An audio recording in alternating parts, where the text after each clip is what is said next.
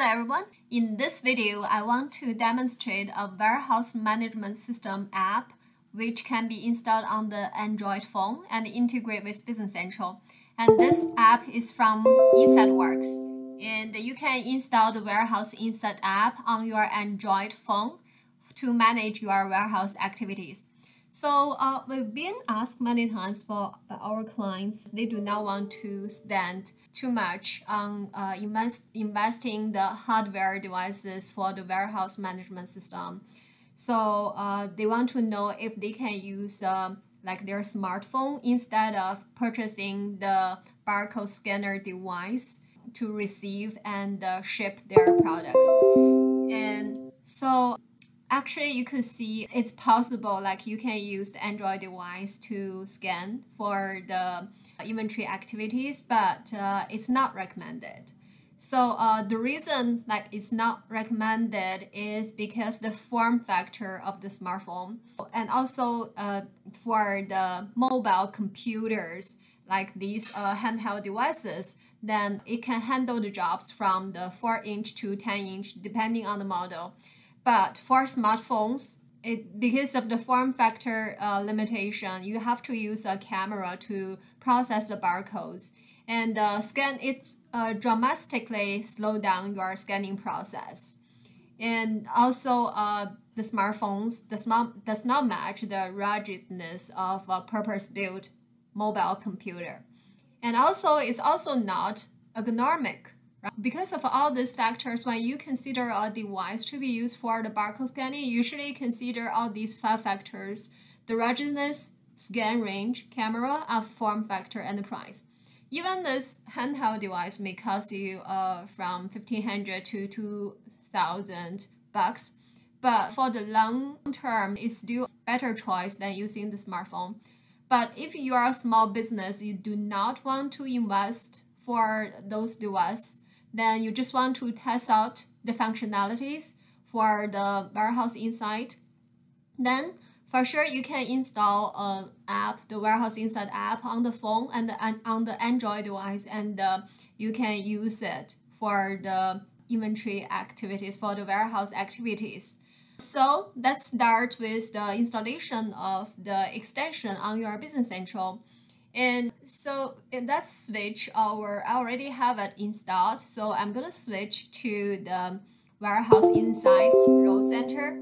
And then we can take a look of the extension management. So let's take a look uh, what comes with it.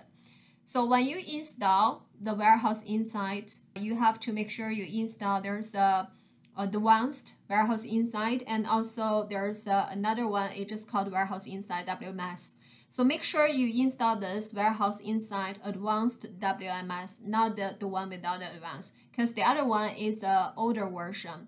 And there's some features it does not have, and also the phone apps, it has less features as well. So after you install this Warehouse Insight Advanced WMS, then uh, you can go through the wizard. Then you can go to the assisted setup, then uh, just uh, go through the wizard so you can uh, generate a report for the warehouse insight installation. And there's some barcode you can uh, scan and download the apps the android app. And also it has the credentials you can use to log in to warehouse insight so what you have to do is basically you have to go through this wizard and then you just start the setup. And once you start the setup and it asks you a few questions like the location you need to use so let's take a look. I'm just gonna turn on this uh, gray because already completed. You could see already completed setup, but we can just uh, go through again. Then uh, if you want to download, there's some um, rapid start data which comes with this warehouse insight. It's just some sample data and setup data you can use. Then you can just turn all these on and then just go to next and select the language you're gonna use and then put in your information and then select the location, the warehouse location, and the user login name, web service key. So this is from the users. So if you go to the users, then on the users, then you can see, so whatever the user you want to use to log into your uh, app. So you can select the user and the warehouse, uh, the for the web access key you can get from here, web service access key. So you just need to put those information in when you set it up. And then uh, after this screen, it's, uh, I cannot I cannot skip the screen. So because I have a location, white location, it has the advanced warehouse turned on, which means I have the require uh, require receive and put away and require ship and uh, uh, pick and also I have the directed put away and pick turned on zones and bins. So I'm gonna use that white location. Then you can put in your username and the web service key and copy it from the users, okay? And you click on next and then it takes a while, then it has a finish button. So then you click on finish. Once it's finished, then it's gonna download a report like this, okay? And uh, once you have this report, you can see on this report, it gives you the link for where you can download this APK to install on your uh, Android device. And you can click on that link, then you can just download it, okay? And then uh, after you download and install on your uh, Android phone, then so there's an Android device, there's a Windows mobile device as well. You can also, uh, if you are using Windows mobile device, you can download from this CAB file. Uh, it will support Windows CE and other Windows mobile device. Okay, so then after because I when I go when I gone through the setup, I set up my location as the white location, and then you could see this configuration ID is as white test, and then it provide us the web service and company name. Okay, so once you have this, and also your login credential shows up here. Once you have this, then what you can do, I'm just gonna share the screen of my phone, that you can see what's gonna happen on the phone. So on the phone, you're gonna install that APK. Then you can download that APK file from this link. And then uh, you just install it on the phone. Then you will see this icon. On this icon, then it's a warehouse insight. So what you can do with this, uh, first time when you log in, uh, right now, because I already logged in before, so right now what I need to do, I just need to scan this uh, credential barcode on my phone and then you can use this camera. You can use this camera on the phone to scan it. So I'm just gonna quickly scan it and log in on my phone. So it may take some time when it's load on the phone. So that's why you could see this is not the best option because like it, it there's a dramatic delay if you use it on, on. Now the interface load up okay? So the first time you log into your phone, so this information you do not need to manually enter because this is from the installation uh, report. What you can do is like uh, you have a, if you click on this barcoding, okay? And if you click on this barcode, you, you have this option to use your camera. Then you have to turn this on. Once see, no matter where you go in the Warehouse Insight app, then you always see this camera on the upper right corner. So uh, this camera is used for you to scan the barcode, okay? Then uh, we can go to like, if you go to the item, item inquiry, and then you can scan an item number. So let's say, in this case, we can see th this item number, but like we don't, if we, but in the warehouse environment, everything is gonna scan. You have the labels on the item, you have the bin uh, barcode label on the item as well. So everything is a scan. So in order to demonstrate this, and I have to find an online barcode, I have to find an online barcode generator. Because on my phone, uh, if you look at if you look at the settings on the phone, there does have a setting which you can. So uh, if we go to the config config mode, then the default password one two three four, then uh, you could see under the barcoding, this uh, the barcode formats is which you already have a few barcode formats turned on. Those are the barcodes you can scan. If you have other format, like if you want to have the 93 to be able to scan, you have to turn on those barcodes. Right now, I have the code 39, I have the code 128 data matrix. So this typical barcode turned on and UPC-A, okay? So those are the accepted format I can scan. And then I'm gonna go back to my uh, screen. So every time you go back, then you have to rescan because you see the camera, it disappeared from here. So you have to sign out and then uh, you have to, after you sign out, you see this camera comes back. then you have to scan uh, your barcode again for the credential, then to log in. So we are scanning this credential again. So let's go back. You can see this come, comes back. And since we enabled code 39 on our phone app, I'm just going to select this code. And there's an item I know like I have in the white warehouse and also I have it in the bin. So I'm going to generate the barcode for that.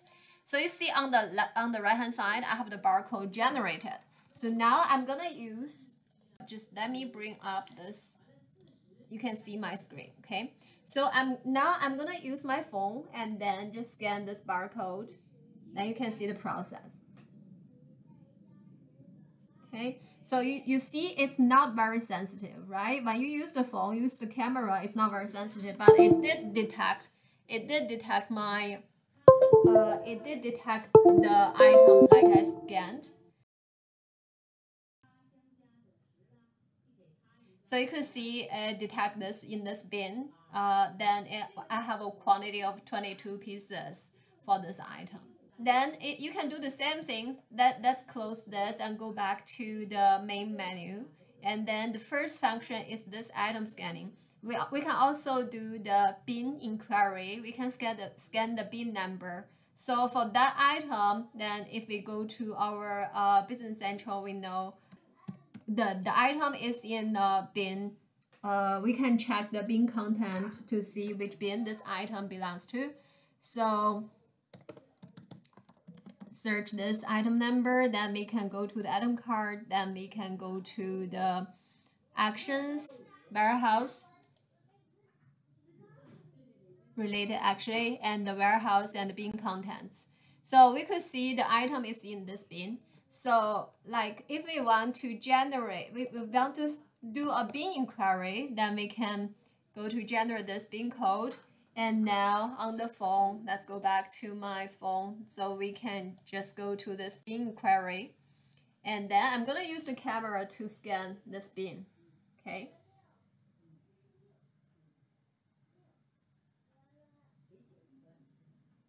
So you can see it takes some time, but this bin, this this item, that by using this bin inquiry, this item did populate.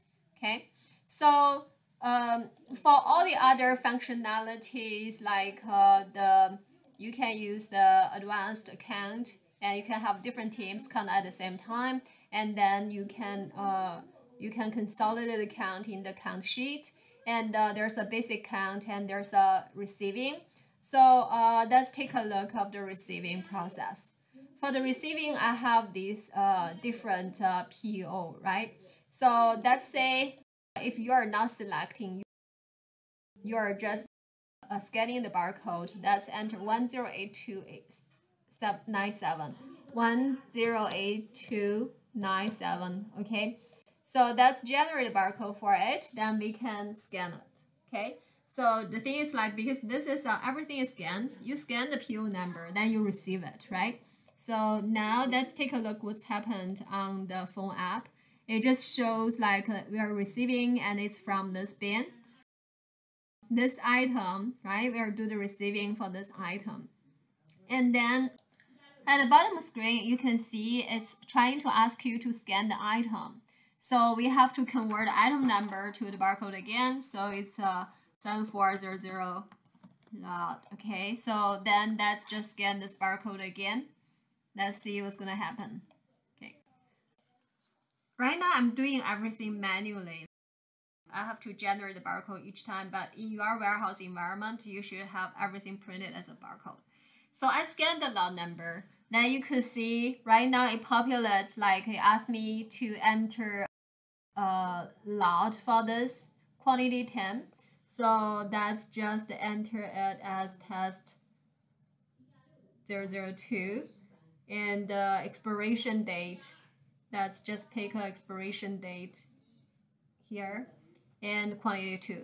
That's confirm. Click on OK and confirm. So the quantity to receive it says 10, so it's good, right? And then on on your scanner on the phone, then you can just uh, go to post this, okay?